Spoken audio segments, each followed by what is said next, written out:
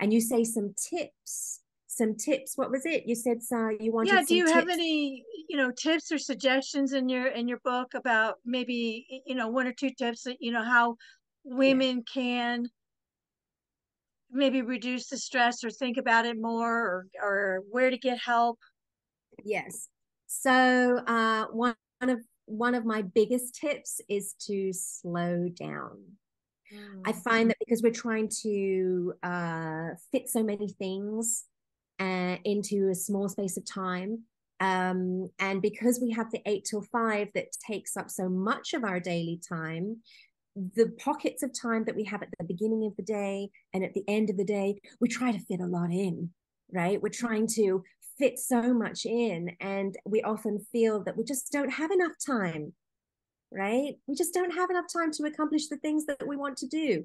So, one of my tips is to slow down and not rush because rushing gives you a feeling of stress. Rushing equals stress mm. right yeah. so if you can slow down and you and you can um not rush then you're automatically reducing that stress level. And if you, you don't have enough time then you need to make some decisions about what you're going to do with your time. Do you still need the 8 to 5 can you reduce the hours? Yeah. do you yeah. need to change something?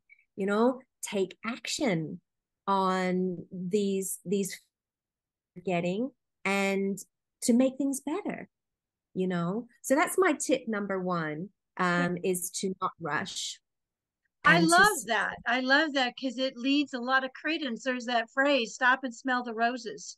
Right. And, you know, and there's, I never really thought about it in terms of, you know, slow, slowing down.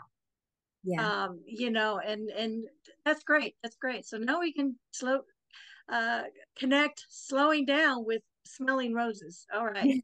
Love it. And then my second one is to have fun.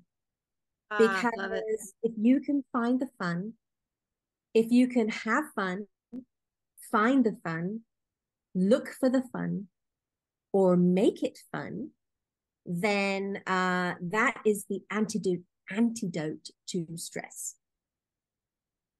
Fun is the stress. Good tips. I, I, I love it.